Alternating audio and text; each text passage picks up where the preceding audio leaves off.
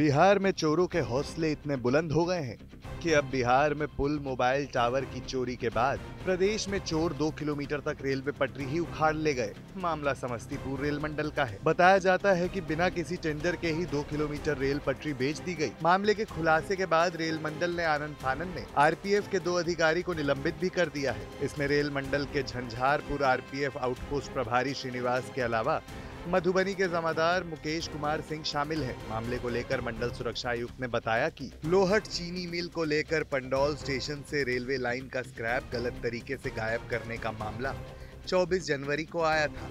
इस पर कार्रवाई की गई। विभागीय स्तर पर जाँच कमेटी बनाकर जाँच कराई जा रही है। अगर दोनों पुलिस पदाधिकारी पर मामला सच पाया गया तो प्राथमिकी दर्ज की जाएगी। समस्तीपुर रेल मंडल के पंडौल स्टेशन से लोहट चीनी मिल के लिए रेलवे लाइन बिछाई गई थी। चीनी मिल लंबे समय से बंद होने के बाद इस लाइन को बंद कर दिया गया था। रेलवे लाइन की पटरी को बिना ऑक्शन के आरपीएफ की मिली भगत से स्क्रैप कारोबारी के हाथों बेचा जा रहा था।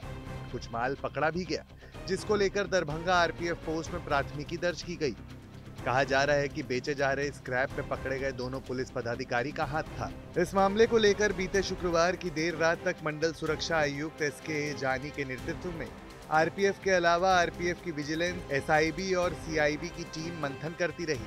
मीटिंग के बाद इस मामले में मंडल सुरक्षा आयुक्त ने जाँच के लिए कमेटी का गठन किया है।